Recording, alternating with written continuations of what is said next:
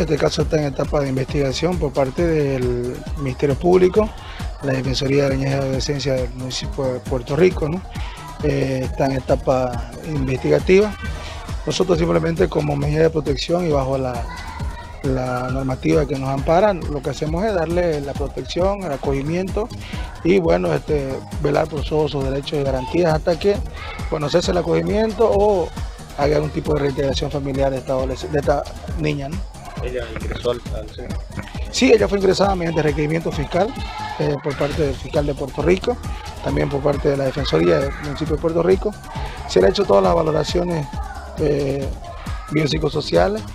Este, como te decía, como es una etapa de investigación, quien tiene que determinar si hubo o no el tipo de agresión o la violencia es el Ministerio Público a través del médico forense y del de, eh, psicólogo forense que tienen ellos. Y gracias a Dios se ha hecho un trabajo coordinado se pudo dar con el paradero de esta adolescente, la misma que se había fugado el día martes, eh, ayer ya retornó al, hogar, ya para tranquilidad, ¿no? tanto de la población como de su familia, que habían hecho la búsqueda y el repartido en diferentes puntos de la ciudad los, los, carteles de desaparecida. Esta adolescente ya ha retornado al centro, al hogar de Niño Cobija, y bueno, estamos ya otra vez esperando que en horas de la tarde la Defensoría de Niños y Adolescencia eh, comparezca a la instancia para ver qué acciones vamos a tomar, ¿no? Toda vez que la mamá ha sido un poco exaltada en el tema de, la, búsqueda. Y nosotros aclaramos también a la población. Este, esta niña ingresó el 21 de abril del 2022. Estamos a 24 de mayo, de junio, perdón, y recién la mamá se haya preocupado.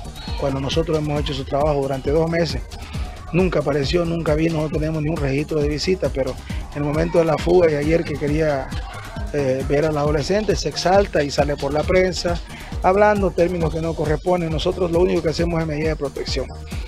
Los demás actos investigativos no corresponden a nosotros, eso corresponde a la Policía Nacional, la Defensoría, que es en la que INSE, y bueno, nosotros debemos a la autoridad jurisdiccional, que en este caso el juez de la niñez.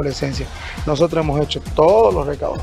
Nosotros, al momento de la fuga, nosotros informamos al juez de niñez y adolescencia la fuga, hicimos la denuncia ante la, ante la Defensoría de Niñez y Adolescencia, hicimos la denuncia ante la FELCC, la Dirección de Tráfico de Personas, y hemos hecho todas las búsquedas eh, exhaustivas en todos los lugares que ella, ella podría estar.